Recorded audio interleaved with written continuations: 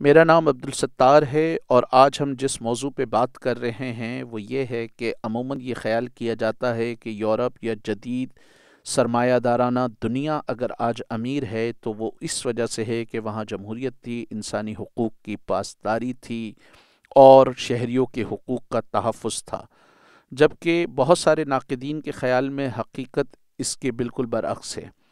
इस बात में कोई शक नहीं कि यूरोप के दानश्वरों ने अपने समाज को जहालत से छुड़ाने के लिए अजीम कुर्बानियाँ दीं, लेकिन शायद ये उनकी तारीख़ क्या एक हिस्सा हो और शायद बहुत छोटा हिस्सा हो। दर हकीकत बहुत सारे नाकदीन का ख्याल है कि यूरोप और जदीद सरमायादाराना निज़ाम अगर आज अमीर है तो उसकी एक बुनियादी वजह यह है कि उन्होंने पूरी दुनिया में लूटमार की और उस लूटमार की वजह से दुनिया की दौलत मगरबी दारकूमतों में सुकड़ कर आ गई। मिसाल के तौर पे, अगर पंद्रहवीं सदी से पहले फ्रांस, स्पेन, पोर्चुगाल, इंग्लैंड और दूसरे ममालिक की हालत इज़ार को देखा जाए तो यूरोप के बारे में ख्याल किया जाता था कि ये एक ऐसा बर अज़म है जहाँ बहुत ज़्यादा आबादी है और ग़ुरबत बहुत ज़्यादा है। वहाँ पे जो मशहूर वबाएँ आईं, उन वबाओं में बहुत सारे लोग मारे गए। चौदहवीं सदी के करीब जो वबा आई उसमें एक अंदाजे के मुताबिक यूरोप की एक तिहाई आबादी मारी गई। कुछ लोग कहते हैं कि निफ्स आबादी तक भी मारी गई। तो तकरीबन फिफ्टीन सेंचुरी में और पुर्तगाल के हवाले से अगर बात की जाए तो उसने इससे भी पहले फोर्टीन सेंचुरी में मानसी मूसा जो अफ्रीका का आ, एक मशहूर बादशाह था उसकी दौलत के चर्चे सुनकर कुछ नाकदीन का ख्याल है कि उन्होंने दुनिया को दरियाफ्त करने की कोशिश की थी। चौदह सौ बानवे में स्पेन और पुर्तगाल ने दुनिया को दरियाफ्त करने की कोशिश की और साउथ और सेंट्रल अमेरिका में ये पहुँचे और अफ्रीका के कुछ इलाकों में पहुँचे और साउथ एंड सेंट्रल अमेरिका में जहाँ पे बड़ी तवाना सल्तनतें थीं, उनकास थी, एस्टेक थी, माया थी, जो बहुत मालदार उस दौर के लिहाज से थीं। वहाँ पे इन्होंने लूट मार की वहाँ कनकिस्टाडोर गए स्पेनी वहाँ पे फ़ातहीन गए जो जिन्होंने वहाँ के मकामी लोगों का कत्लेआम भी किया उनसे दगाबाजी की धोखा फरेब मक आ, मक्कारी से जो है उनको मखलूब किया। और वहाँ से वो सोने चांदी के ज़ख़ायर लूट कर लेकर आते थे बुनियादी तौर पर स्पेन और पुर्तगाल। और उनके जहाज़ जब ये पहुँचते थे समंदरों में तो फ्रांस इंग्लैंड नदरलैंड और दूसरे मगरबी ममालिक के जो बहरी कज़ाक थे या बहरी डाकू आप कह लें, पायरेट्स जिन्हें कहा जाता है, वो उनको लूटते थे। इनमें से एक मशहूर डाकू था फ्रांसिस ड्रैक, जिसे बाकायदा बरतानिया में शाही ख़ानदान की तरफ़ से एजाज़ भी दिया गया। तो पंद्रह सेंचुरी, पंद्रहवीं सेंचुरी में स्पेन और पुर्तगाल ने लूटमार शुरू की और सिक्सटीन सेंचुरी में ये यूरोप के अमीर तरीन मुल्क समझे जाने लगे और ये दुनिया में भी पहले, अगर आप कहें जदीद दौर में पहले आलमी पावर्स थे या पहले सुपर पावर्स थे। उसके बाद जिस तरह बरतानिया, फ्रांस, नदरलैंड और दूसरे ममालिक ने लूटना शुरू किया तो वो भी आहिस्ता आहिस्ता ऊपर आते गए।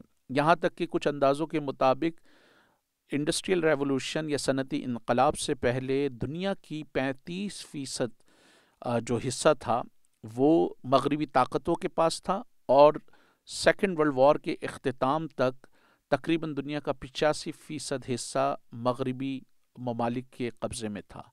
तो इन मगरबी ममालिक ने पूरी दुनिया में लूटमार की। मिसाल के तौर पर यह कहा जाता है कि खाली बरतानिया ने हिंदुस्तान से 45 ट्रिलियन डॉलर लूटे हैं। उसके अलावा जो कत्ल आम किया गया वो एक अपनी जगह है। अगर आज ये मान लिया जाए कि अमेरिका दुनिया का अमीर तरीन मुल्क है तो तारीख़ का कौन सा बाशूर तालब इल्म ये नहीं जानता कि 40 लाख सियाफाम अफराद को सिर्फ़ कहा जाता है कि मिडिल पैसेज में मारा। 12 मिलियन से ज़्यादा सियाफाम अफराद को जानवरों की तरह पकड़ कर अमरीका के मुख्तलिफ़ इलाक़ों में और ये शुमाली और जनूबी अमेरिका और सेंट्रल अमेरिका में लाया गया। बिल्कुल इसी तरह अमेरिका का मशहूर मौर्रिक हावर्डजिन का ख्याल है कि जब क्रिस्टोफर कोलंबस वहाँ पहुँचा तो उस वक्त मुकामी लोगों की आबादी 25 मिलियन के करीब थी, जो कुछ अशरों में घट कर सिर्फ़ पाँच मिलियन रह गई। वाज रहे कि यह हावर्ड जिन का दावा है, जिनकी किताब a people's history of the United State एक मिलियन से ज़्यादा उसकी कॉपीज़ बिकी जो मुकामी इंडिजिनस आबादी के लिखारी हैं या मौरख हैं, वो कहते हैं कि उनकी आबादी 120 मिलियन से ज़्यादा थी। और 80 फ़ीसद के करीब, कुछ अंदाज़ों के मुताबिक 90 फ़ीसद के करीब उन लोगों की आबादी ख़त्म हो गई। बिल्कुल इसी तरह सियाफाम अफराद के साथ जो जुल्म किया गया, वो एक तारीख़ का हिस्सा है।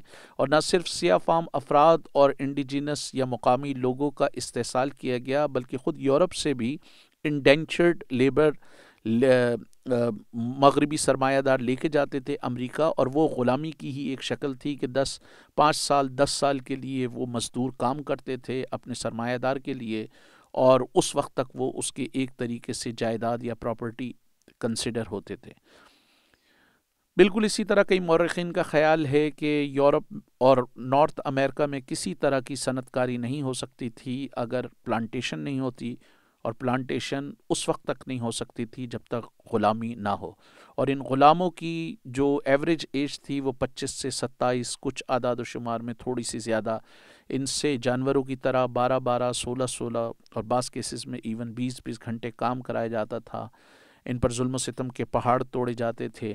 बिल्कुल इसी तरह बरतानिया ने हिंदुस्तान में जो माशी पॉलिसी अपनाई, उन माशी पॉलिसीज़ में की वजह से हिंदुस्तान में जो उभरती हुई सनत थी कॉटन इंडस्ट्री थी वो तबाह हो गई और आ, कुछ अंदाज़ों के मुताबिक जब मगरबी अकवाम यहाँ आई तो उस वक्त इन हिंदुस्तान ग्लोबल इकॉनमी के लिए कोई 25 से 30 परसेंट कॉन्ट्रीब्यूट करता था और जब हिंदुस्तान को 1947 में बरतानिया ने खैर बात कहा तो ये शरा पाँच फ़ीसद हो गई थी। हिंदुस्तान में बिहार उड़ीसा और बंगाल में बुरे कहत आए, जिससे एक अंदाजे के मुताबिक 35 मिलियन लोग हलाक हुए। इसका मतलब है तीन करोड़ पचास लाख के करीब। बिल्कुल इसी तरह चाइना में मुख्तलिफ़ मगरबी ताकतों ने अपना तसलुत कायम किया। चाइना को खूब लूटा और एक अंदाजे के मुताबिक अमरीका, बरतानिया की उन्नीसवीं सदी में तिजारत का एक बड़ा हिस्सा अफ्यून की तिजारत पर था और कुछ अंदाज़ों के मुताबिक पचास फ़ीसद से ज़्यादा था। और चाइनीज़ हाकिम तबक़ात ने, चीनी हाकिम तबक़ात ने जब इनको अफ्यून बेचने से रोका तो इन्होंने उन पर न सिर्फ़ जंगें मुसलत की, बल्कि उनके, उनकी बंदरगाहों पे भी कब्ज़ा किया। एक अंदाजे के मुताबिक कोई छः से जायद बंदरगाहों पे कब्ज़ा किया और बहुत सारे उन पर जुर्माने भी आयद किए जिसको चीन में ख़ुद असेंट्री ऑफ़ ह्यूमिलिएशन या तजलील की सदी कहा जाता है, जिसमें चीनी कौम का बुरी तरह इस्तेसाल किया गया। तो आज अगर अमेरिका दुनिया का अमीर तरीन मुल्क है तो उसकी एक बड़ी वजह, वो जुल्म सितम है, वो खून खराबा है, वो इंसानों का कत्ल है, जो अमेरिका के हाकिम तबक़ात ने किया। बिल्कुल इसी तरह बरतानिया, आज अगर दुनिया का अमीर तरीन मुल्क है तो उसकी एक बड़ी वजह यह है। फ्रांस ने इंडो चाइना में, नॉर्थ अफ्रीका में, मिडिल ईस्ट में और अफ्रीका के दूसरे ममालिक में बड़े पैमाने पे लोगों के साथ जुल्म सितम किया। अल अलजायर में जो उसकी बरबरीत थी, वो तारीख़ का हिस्सा है। दिलचस्प बात यह है कि इन्होंने न सिर्फ़ तीसरी दुनिया के गरीब ममालिक का इस्तेसाल किया, इन्होंने ना सिर्फ़ चीन, भारत इंडो चाइना या दूसरे इलाकों का इस्तेसाल किया, ख़ुद इन्होंने अपने मज़दूर तबके का भी बुरी तरह इस्तेसाल किया। मिसाल के तौर पे जब दुनिया की दौलत लंदन और पेरिस में सुकड़ रही थी, उस वक्त वहाँ पर चाइल्ड लेबर एक बहुत बड़ा मजहर थी। और ब्रिटिश पार्लियामेंट में ऐसी तकरीरें रिकॉर्ड पर हैं कि बरतानवी अरकान पार्लियामेंट कह रहे हैं कि अच्छा ये बारह साल का बच्चा है और ये बारह घंटे काम करता है तो ऐसा करें कि इसके दस घंटे कर दें। ये सब वहाँ की तारीख का हिस्सा है। तो ये बात कहना कि मगरब ने अगर कोई तरक्की हासिल की है या मगरब ने अगर आज सनतकारी को रिवाज दिया है तो वो इस वजह से है कि वहाँ पे जमहूरीत थी या वहाँ पर बुनियादी हकूक़ का तहफ़ था ऐसा मामला नहीं मिसाल के तौर पे ख़वातीन को बरतानिया में वोट का राइट 1917 के बाद मिला। फ्रांस में भी यही सूरत हाल है और अमेरिका में भी यही सूरत हाल है। न्यूजीलैंड, ऑस्ट्रेलिया, कनाडा के कुछ इलाके थे काउंटीज़ आप उन्हें कह लें, जिन पर ख़वातीन को वोट का हक़ हासिल था, लेकिन असल मायनों में ख़वातीन को वोट का हक़ मिलना शुरू हुआ 1917 के बाद। बिल्कुल इसी तरह बेल्जियम को अगर आप देखें तो वो दुनिया के अगर 40 ममालिक की लिस्ट बनाएँ तो उसमें वो कहीं ना कहीं फॉल करेगा। बेल्जियम का जो किंग था लियो पॉल उसने उस पर इल्ज़ाम है कि उसने ना सिर्फ़ एक मिलियन लोगों को कत्ल कराया, बल्कि उसने लाखों लोगों के हाथ और पैर को कटवाया। बेल्जियम कांगो में रबड़ की प्लांटेशन होती थी और अगर बाप प्रोडक्शन का टारगेट पूरा नहीं करते थे तो उसके सामने उसके आठ साल, दस साल, बारह साल बच्चे को जो है वो कत्ल कर दिया जाता था। तो ये सारी तारीख़ अगर ये दुनिया के आप चालीस ममालिक की लिस्ट बनाएँ, जो तरक्की तरक्की याफ्ता हैं या जहाँ पर खुशहाली है नस्बता तो उन्होंने दुनिया की कई ममालिक का बेदर्दी से एक्सप्लाइटेशन किया या इस्तेसाल किया। Canada, Australia, New Zealand, settler states हैं जिन्होंने वहाँ की मुकामी आबादियों को बिल्कुल ख़त्म करके वहाँ पर जो है वो अपना तसलुत कायम किया और मुकामी आबादी का तकरीबन नामो निशान मिटा दिया। जापान ने भी डेढ़ सौ साल तक अपनी सरहदों को बंद रखा और जापान ने भी चाइना का जो इलाका था, मंचूरिया, उसमें बहुत बुरा कत्लेआम किया और नैनजिंग का जो मैसकर है या कत्लेआम है, वो बड़ा मशहूर है और मंचोरिया को चाइना अपना ऑस्ट्रे मंचोरिया को जापान अपना ऑस्ट्रेलिया कहता था। वहाँ जो जुल्म सितम के पहाड़ तोड़े गए, उसके बाद कोरिया और दूसरे इलाकों पे जो जापान ने कब्ज़ा किया, वो भी तारीख़ का हिस्सा हैं।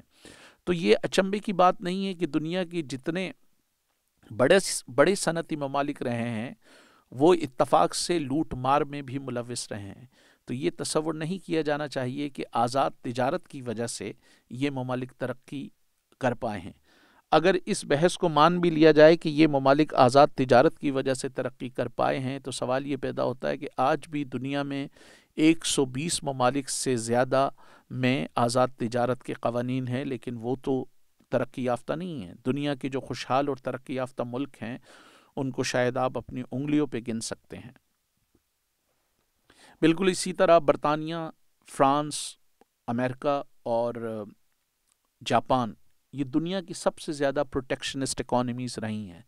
इन्होंने नारा तो आज़ाद तजारत का लगाया, लेकिन इन्होंने बहुत सिस्टमेटिक तरीके से जहाँ जहाँ कब्ज़ा किया, उन इलाकों को सिर्फ़ इन्होंने रॉ मटेरियल की मंडी बनाया और अपनी प्रोडक्ट को बेचने के लिए सिर्फ़ उन पर कब्ज़ा किया और तसलुत कायम किया।